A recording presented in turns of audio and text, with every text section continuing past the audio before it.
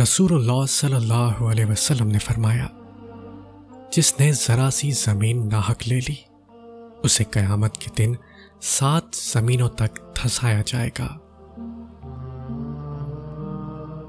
अल्लाह के हुकूक में माफ़ी शर्त है और हुकूकुल इबाद में तलाफी ज़रूरी है।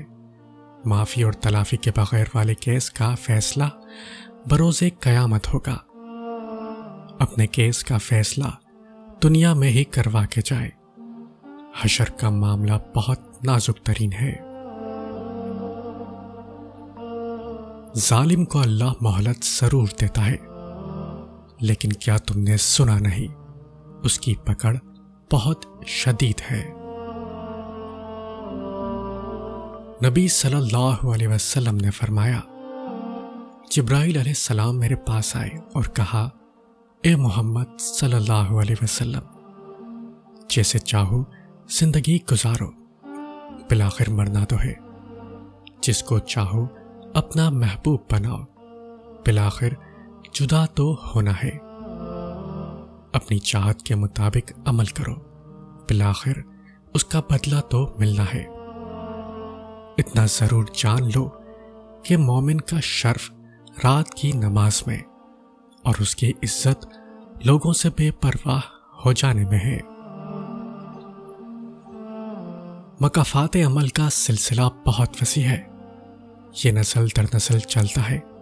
इसका जिम्मा अल्लाह ताला ने खुद लिया है। और उसमें आपके साथ किए गए जुल्म सितम का नतीजा होता है। और वक्त नहीं लगता बाजी पलटने में।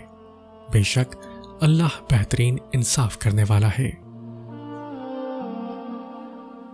बाज़ात हमारे साथ ऐसा भी होता है कि हमें बेवजह रुलाया जाता है, बिना कसूर के ही आंसुओं के तहाइफ से नवाजा जाता है और फिर इंसान इस उम्मीद पर अपने आँसू साफ़ कर लेता है कि ये दुनिया मकाफात अमल की जगह है। किसी को आँसू देने से पहले ये सोच लेना, क्या उसके आँसू तुम्हें सुकून से जीने देंगे या नहीं? इंसान जो जहर दूसरों को देता है, उसे चखे बगैर नहीं मरता। जब कोई तुम्हें बेवजह रुलाए तो तुम अपने आँसू इस यकीन के साथ साफ़ कर लेना कि ज़िंदगी के किसी मोड़ पर वो तुमसे ज़्यादा रोएगा। बेशक अल्लाह बेहतरीन इंसाफ करने वाला है। अल्लाह से रुजू करने में कैसी झिझक? उसके पास तो गुजरे हुए कल की माफ़ी भी है और आने वाले कल का इनाम भी। ज्यादती उतनी ही करो, जितनी खुद पर आए तो झेल सको और सबर उतना ही समेटो। जितना खुदा का अजाब बर्दाश्त करने की ताकत रखते हो, क्योंकि सबर करने का मामला अल्लाह का मामला बन जाता है। अल्लाह जालिम लोगों को कभी हिदायत नहीं देता। शिरक के बाद बदतरीन गुनाह अल्लाह की मखलूक को तकलीफ़ पहुंचाना है। वक्त और हालात एक जैसे नहीं रहते। जिसने आपके साथ बुरा किया है, वो शायद आज बहुत अच्छे हालात में है, मगर हिसाब वो भी देगा। किसी को खुशी देना सदका है, मगर किसी को दुख देना वो कर्ज है, जो आपको एक ना एक दिन ज़रूर मिलेगा, मगर किसी और के हाथों। एक शख्स ने उमर बिन अब्दुल अज़ीज़ को गाली दी।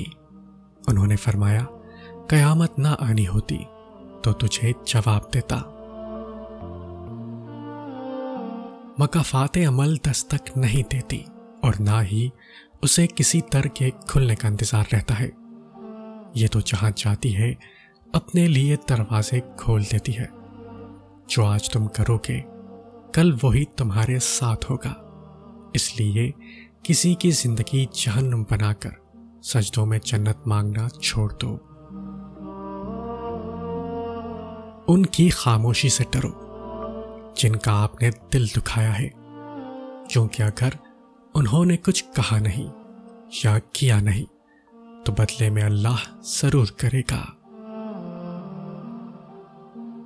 किसी को इतना ना सताओ कि खुदा की पकड़ में आ जाओ।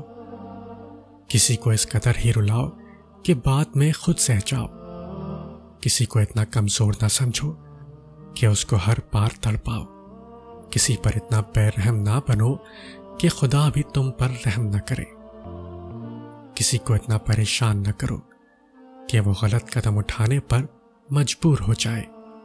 और याद रखो, किसी की आह खाली नहीं जाती।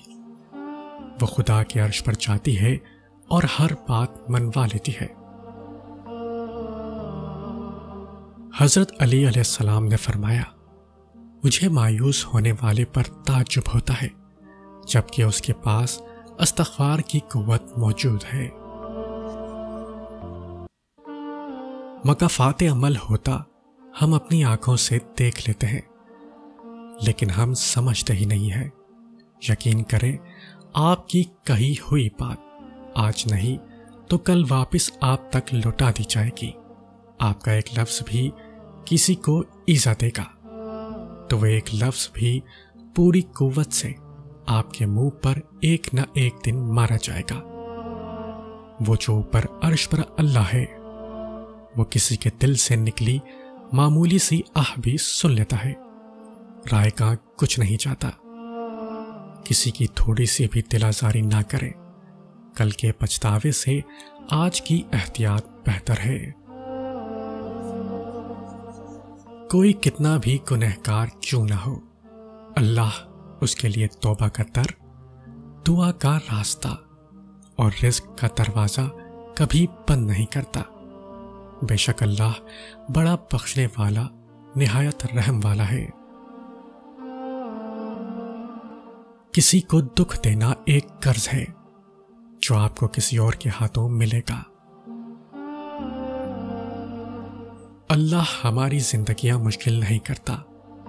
हम खुद ही अपने लिए मुश्किलें खड़ी कर लेते हैं। हमारे बहुत से दुख हमारी खुद की ही कमाई होते हैं।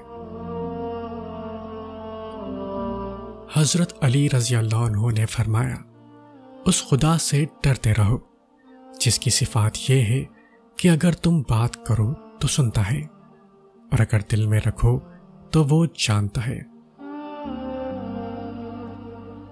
जो लोग कहते हैं देखा जाएगा, वो आज ही देख ले अच्छा होगा। ज़िंदगी हर किसी को तौबा की मोहलत नहीं देती। अल्लाह पाक हर किसी को हिदायत दे। जब आँखें दिल की पसंदीदा चीज़ देख लेती है तो दिमाग अंजाम के बारे में नहीं सोचता।